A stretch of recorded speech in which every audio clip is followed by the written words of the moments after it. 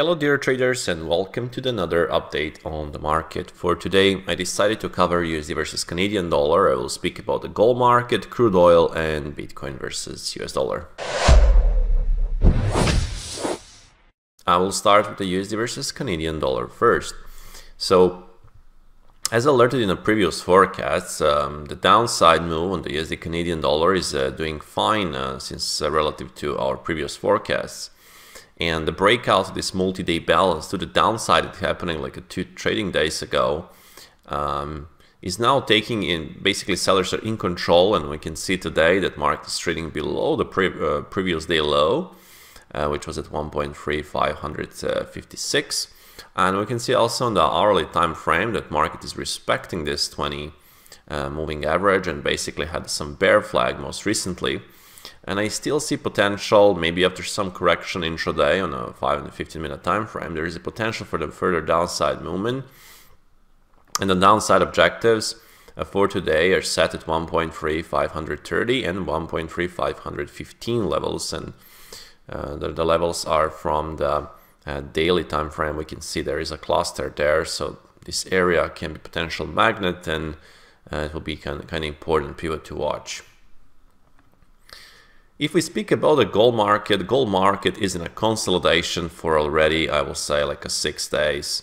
Um, market is basically coiling here and uh, more building like um, um, a triangle here and still uh, is in this coiling process. So um, it's a basically a scalp only uh, market at this stage from my perspective. I don't see anything meaningful uh, from the longer time frame. So if you if you see also the weekly time frame, we have we're building this inside week so far, so absolutely coiling on different time horizons from the daily to weekly, right? So we can see.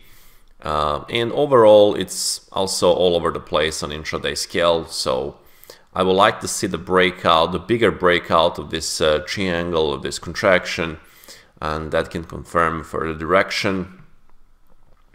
Uh, maybe if we can clear aggressively 1950 and go aggressively downside and it can open the door for 1900 to be and 1910 to be on the test.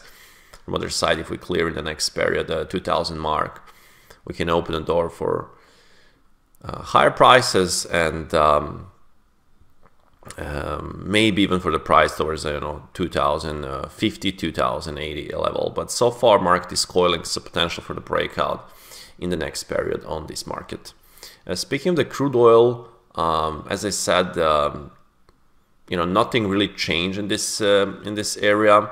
Uh, I still see potential for a test uh, of 76 uh, uh, 30, 76 60 area, even 77 40 area.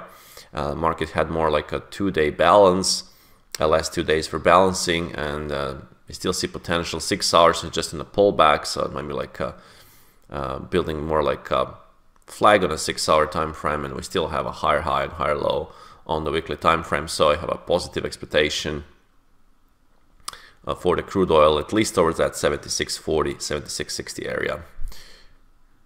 Uh, speaking of the Bitcoin versus US dollar we finally had actually we had that breakout that we pointed yesterday that we might if we see the breakout that this can lead towards the uh, 29,000 and that exactly happened but once we reached the 29,000, we had a problem and uh, the market actually hesitated to go through and continue to go and hold upside.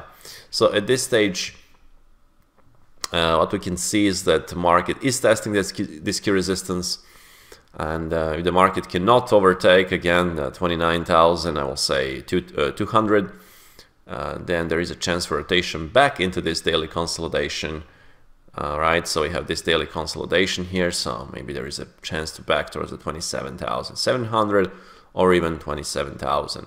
In case of the break of 29,200, if we can really hold above, then this can open a door for, for example, 34, 35,000 to be on the test. So far, Bitcoin is trading just around the previous day high, uh, around this uh, 28,682. Uh, that will be all for this update. I hope that you did enjoy. Um, uh, trade safe and speak to you from tomorrow morning.